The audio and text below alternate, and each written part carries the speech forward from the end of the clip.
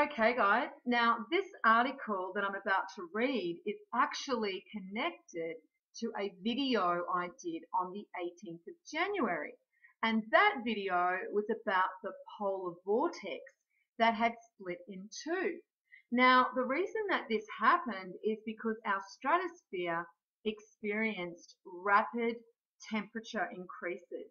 And it caused this vortex here to actually split in two. Now, this has a knock-on effect to all of the climate and weather patterns around our planet. And this is exactly what we are now experiencing. At the moment where I live, we have torrential rain. Now that's not too unusual because we do have monsoons. I'm in far north Queensland and that's tropical. So we do have the monsoons. However, the amount of rain that we have experienced is phenomenal.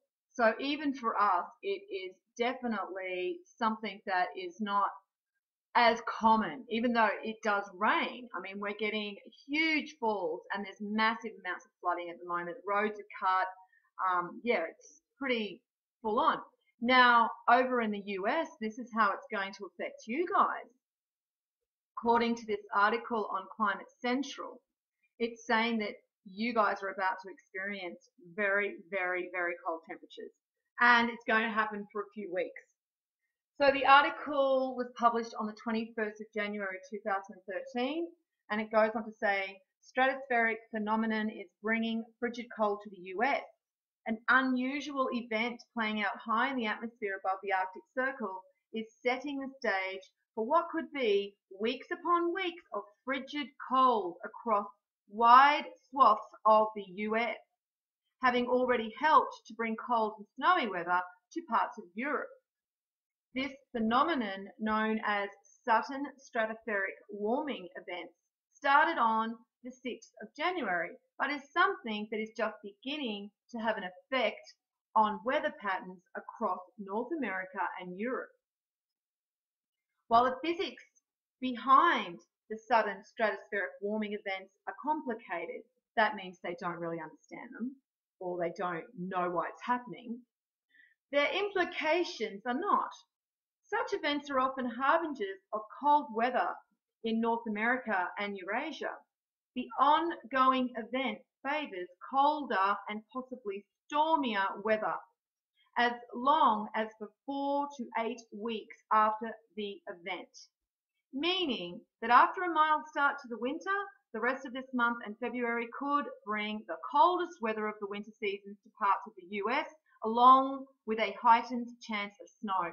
Now, if it's anything like what we've experienced in Australia with the heat waves that we had last week, which is also from this stratospheric warming event, then I bet you guys are going to break temperature records for the coldest weather in these weeks to come. So it goes on to say that sudden stratospheric warming events take place in about half of all northern hemisphere winters and they have been occurring with increasing frequency during the past decade, possibly related to the loss of Arctic sea ice due to global warming. Arctic sea ice declined to its smallest extent on record in September 2012. Now, even though they are saying that this type of stratospheric warming takes place in about half of all winters. Check out the other video I did and have a look at why this one is different. And I'm not saying it hasn't happened before, but it's not as common as they are saying. So I will uh, put the link to that video underneath this one and you can check it out. So then it goes on to say that uh, an Arctic cold front was sliding south from Canada on Friday, getting ready to clear customs at the border on Saturday and Sunday, bringing an icy chill to areas from the Plains states through to the mid-Atlantic by early next week. Anyway, I'm not going to read the rest of the article. I just want to let you guys know that you have very, very cold weather coming. So best prepare ahead of the herd. You know, they aren't getting this information right now.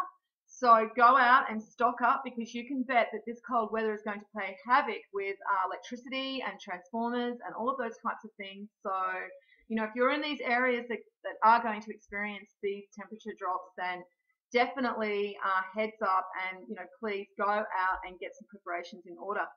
All right, guys, well, I will leave it here and I will link the article underneath as well as the video in regards to the polar vortex splitting in two. And as always, peace out.